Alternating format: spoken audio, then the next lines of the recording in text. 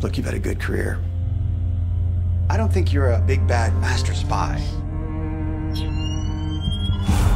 I think you just messed up. I think you might have been angry about what's going on. The Russians attacked our democracy and the, president's campaign participated in it. They didn't attack. Reality. Were you surprised to see us today? O filme Reality foi lançado no ano de 2023 e encontrou é, uma boa recepção junto a público e críticos. É, ele é uma espécie de docudrama, é, porque está nessa fronteira entre o documentário e a ficção. A rigor, ele ficcionaliza uma situação que ocorreu a uma cidadã estadunidense chamada Reality Winner, é, que era, a princípio, é, membro do, das Forças Armadas dos Estados Unidos, deu baixa e, a partir de então, passou a trabalhar uma empresa que presta serviços é, para a inteligência estadunidense. Esse é o grande contexto. o que desencadeia a trama é uma investigação que está movendo o FBI e que endereça a pessoa da Reality Winner. É, e no começo da trama a gente não sabe exatamente do que se trata, né? A, rigor, um bom, uma boa parte do filme está é, é, tá construída em torno dessa tensão. Enfim, é, qual é o objeto da investigação, por que, que a Reality Winner está implicada com ela, é, o que os agentes sabem não sabem, é, e coisas dessa espécie. Só mais para o meio do filme é que o objeto da investigação é, de certa forma, clareado e se entende de maneira mais precisa o porquê da presença dos agentes do FBI na casa da Reality Winner. Esse, eh, essa tensão inicial gerada pela, pela diretora roteirista do filme é muito legal porque ela cola o espectador ao filme. Né? É, a curiosidade move o espectador a querer ver o filme e a gente é carregado por esse sentimento até o fim dele. É, tem uma série de elementos muito interessantes nesse filme. Né? Ah, um deles, por exemplo, é o recurso utilizado de usar ah, a gravação original do depoimento da Reality, da Reality Winner é, para o FBI e as transcrições. Né? Ah, e, portanto, isso vai, como disse para vocês, criando esse, essa condição de docudrama que tem uh, o filme.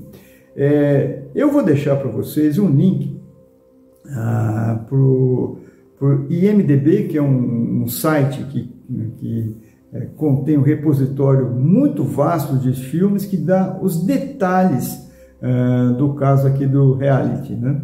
E inclusive trailers, fotografias, enfim, vocês podem explorar o site, é bem legal é, tem para esse filme, para uma infinidade de outros tantos, né? muito completo.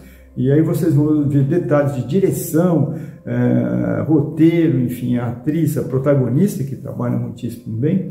Mas eu queria, muito particularmente, chamar atenção para um fato que, que o reality é, aponta. Né? É, existe um conceito ah, em, em, filosofia que foi desenvolvido por, por Gilles Deleuze num pequeno ensaio em que ele aponta para a transformação da sociedade disciplinar né, em sociedade de controle, é, o que significa dizer que os elementos de vigilância da sociedade vão se ampliar de tal forma que todos nós estaremos sob um controle é, difuso e permanente. Né? Uh, e o filme, a meu juízo, demonstra quase que didaticamente essa condição. Uh, e alguns elementos podem ser apontados nesse sentido. Né? Uh, o primeiro deles é que os agentes de segurança sabem mais da vida da Reality Winner do que ela mesma. Por quê? porque eles, para fazer a investigação, haviam esquadrinhado toda a vida dela com todas as informações disponíveis.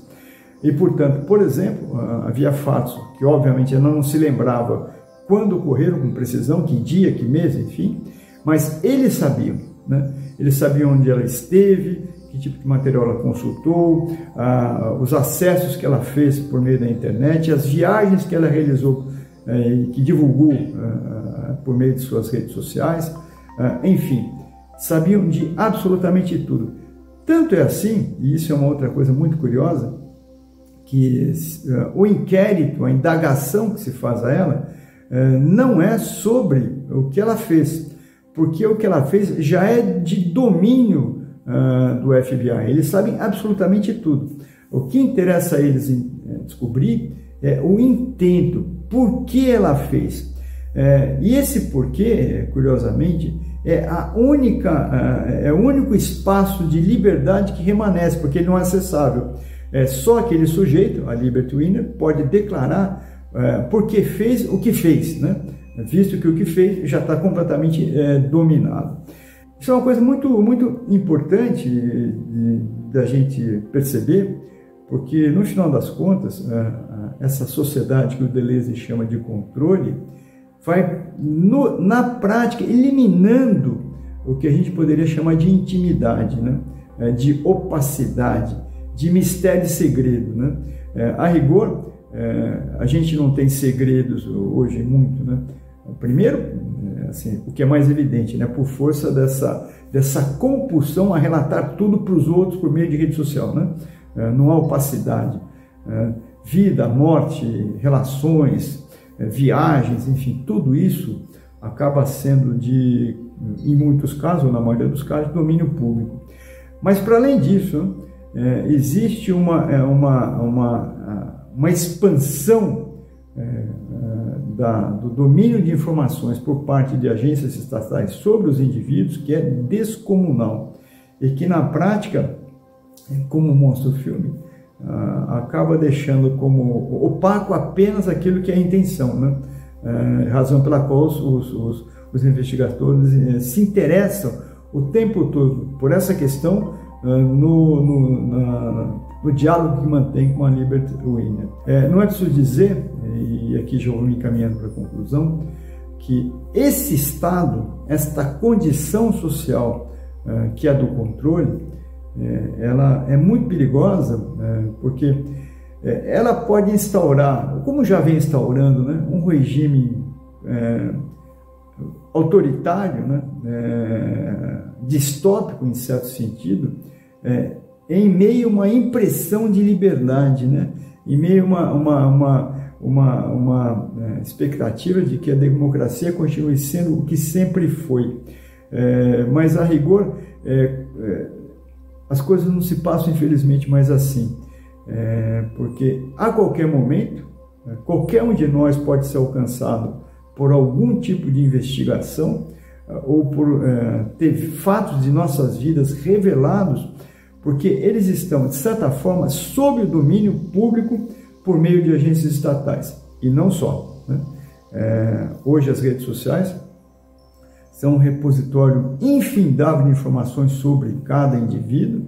Essas informações implicam identificar é, é, localidade em que você esteve, as, os tipos de relação que você mantém, uh, os produtos que você compra, as suas preferências do ponto de vista estético, os assuntos que mais te cativam, ou seja, é, elas, essas informações permitem fazer de cada indivíduo um perfil uh, uh, psicográfico, vamos dizer assim, né? sociográfico, né?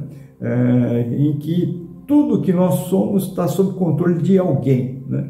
É, sendo que no caso das empresas, o grande interesse é de natureza mercantil, ou seja, de comercializar as informações que elas capturam é, para fins, de um modo geral, publicitários. De toda sorte, é, é alguma coisa sobre a qual a gente deve manter algum tipo de atenção, porque me parece terrível a perspectiva de que uma instância burocrática, por exemplo, um órgão de vigilância, saiba mais de mim mesmo do que eu posso me recordar.